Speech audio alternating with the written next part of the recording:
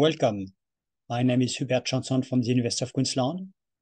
And today we are going to talk about the Colebrook-White formula.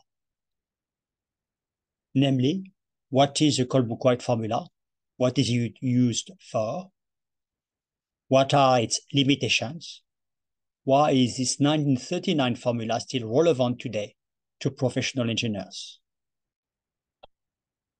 This is the Colebrook-White formula, in which F is the Darcy-Weisbach friction factor, Ks is the equivalent sand roughness height, dH is the equivalent pipe diameter or hydraulic diameter, and Re is the Reynolds number.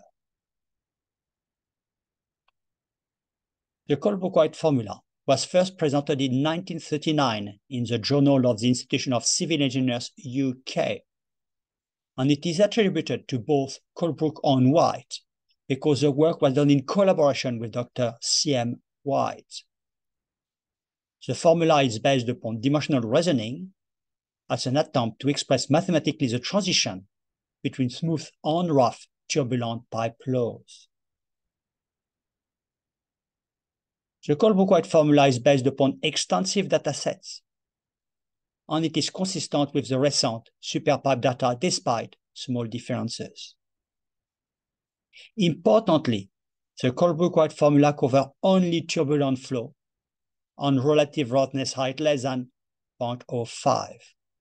It is applicable to unvalidated for both pipe and open channel flow.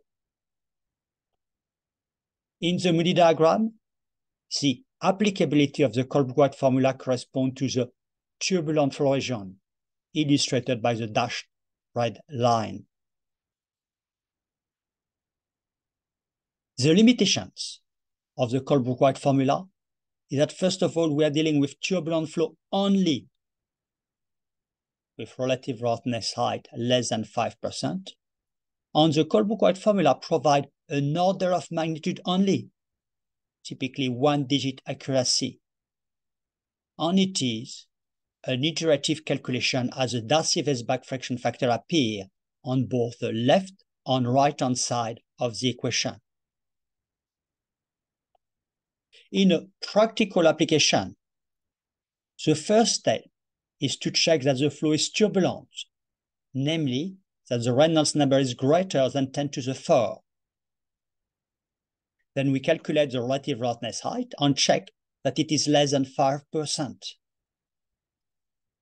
Next, we initialize the Darcy friction factor, for example, using an explicit expression such as the Altschul formula shown here. And then we compute iteratively the Darcy-Weisbach friction factor, where we use the output of an iteration as the input of the next iteration, until the difference between the input and output in terms of the Darcy friction factor is within 5 to 10%. Remember, the Colebrook-White formula provides an order of magnitude. We don't need to converge more than 5 to 10%.